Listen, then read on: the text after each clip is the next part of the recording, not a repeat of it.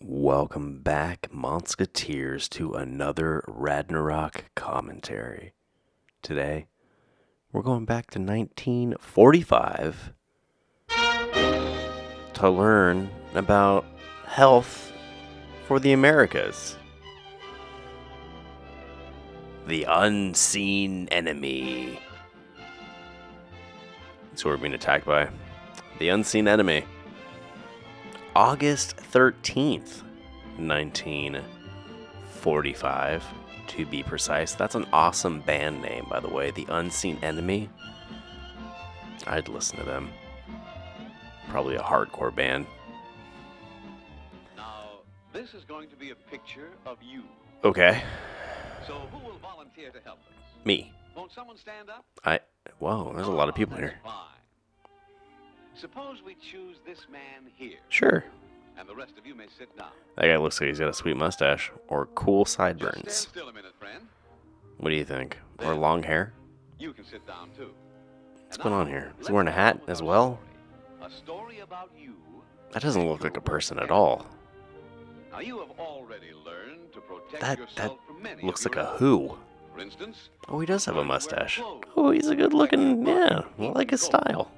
Learned to grow fine crops. He's a farmer. And you raise pigs and chickens. These things all protect you from the enemy hunger. Interesting that they showed the chickens when they said pigs and then the pigs when they said chickens. shelter in your house. Where you've learned to protect yourself from the weather. too. That straw roof is not going to do a whole lot. Just, you know, But saying. even your house won't protect you from your worst enemy. Who's that? enemy who may be here in this room right now. Where? Hiding in the dark. Ghost! Lurking in the most unexpected places. No? great unseen enemy. Yeah, a ghost. Ready and silent. Demons? Ready to strike in an instant.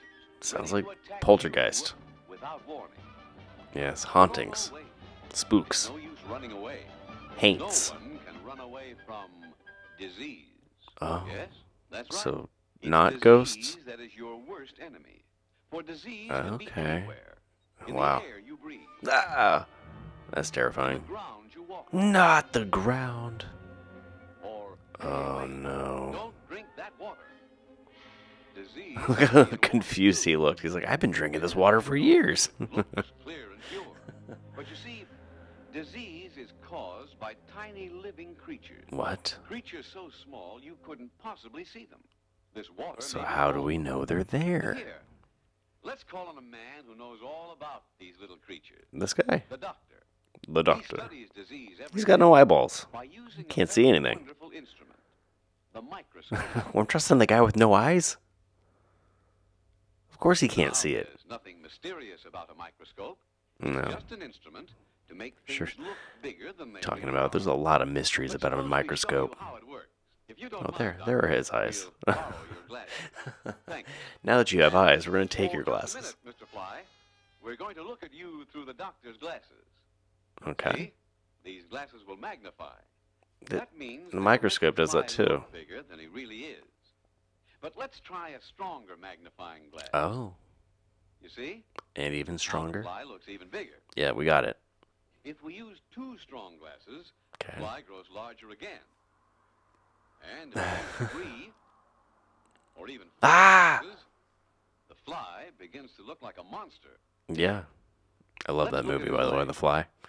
Why, his leg is covered with hair. Terrifying. And so, through our magnifying glasses, we're seeing something we've never seen before. Okay. I kind of feel like you can Now, see hair on a fly's leg, glasses, though. Put a tube around them. Tube. microscope. Simple, Okay. Yep. And yet, All the mysteries are gone. we can actually see the tiny creatures that cause disease. Oh, All right. spooky. Let's try our microscope on some of that water you were going to drink. Okay. This little piece of glass has a drop of that water on it. And we're going to look at it Remember, he's been drinking that for a long time. Remember how concerned, like, just dumbfounded he looked when they, the, the narrator said, "Don't drink that water." Well, those little guys look cute. They're harmless. Full of tiny living creatures Little, little egg little eggs. You know, when you crack open an egg, they got the yolk, the whites, flopping around. I'm a big, strong person like you? Well, just look at this giant tree. Tall Okay. and sturdy and strong. Yes. You'd think it would take something mighty big and powerful to hurt this great tree, wouldn't you? Yeah. Let's get real close. Oh Do no. you see this little beetle on the trunk? Just watch him. I thought he was gonna go termites. He's boring a hole in the bark. Did not Well, see beetle coming. One tiny beetle certainly can't hurt a big tree like this. Nah, not even But a little bit. We go inside and see what it's doing. Look at that. It's planting a bomb. and laid its egg. And now look. Oh, the no. eggs have hatched, and the young beetles are boring more holes and laying more eggs. Then there are more beetles. You trying to tell us how more, uh finally disease works? thousands of beetles, all at No. the life of the great tree. Poor tree. Now the tree becomes sick, and before long, It falls on that house. killed by tiny enemies much smaller than itself. Yeah, Now, I get Let's it. suppose you drank some of this bad water. Like you have been for a long time. We'd see that the microbes are carried down into your intestines. Oh, like here we go.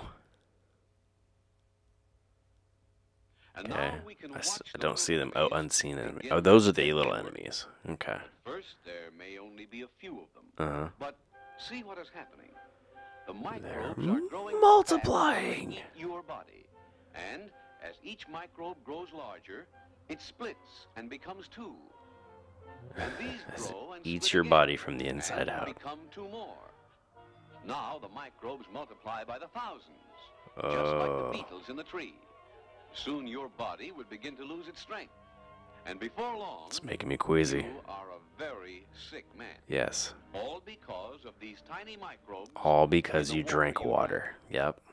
But remember, it isn't only in water that we find these little killers. Where else? Oh, with our microscope, we can find microbes almost anywhere. There's nowhere safe. Take a look around your farm. Okay. Are we gonna go to the chicken What's pigs? this? You have no latrine? You use the cornfield? yeah. Just go in the bathroom. The corn. Remember we said there were microbes in the soil? Yeah. So if I poop in the corn, You see? Here I leave are. I leave microbes. Vicious, deadly killers that live in soil Yeah. with. Yep. Do not poop in the cornfield. microbes are not only in the field. They may be right inside your That's seriously what that was all about right now. no, no pooping in the cornfield. There are some flies on the table. Now you may think that flies are harmless, No. but let's look at the fly's leg through our microscope. Mm-hmm. It's got the poop from the cornfield on it. See? It's covered with filth. it's If you look covered with filth. see the filth is full of microbes from the field That that's the first album from The Unseen Enemy. your food, he'll leave S- thousands The Unseen Enemy, covered in filth. But microbes can be found in other places too. I don't know where. Mm. The see that many children! sleep in this room, and one of them is sick. Oh no! Just gassed him. Well, this is where we find microbes in the air. Yeah. Microbes that came from the sick person's lungs. Oh, gross. That was in their When the others lungs. breathe, they draw into their bodies. We look around, we may find No. other microbes in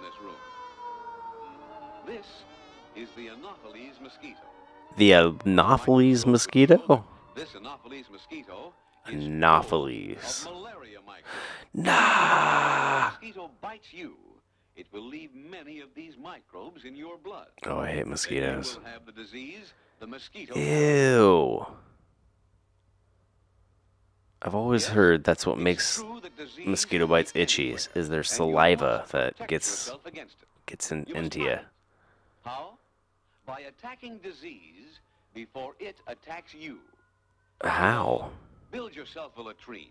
That way you destroy the breeding place of disease. Again with the, the the hay. Again with the straw. That's that's not that's not privacy by any means. Cover your bed at night. With what? mosquito can't reach you.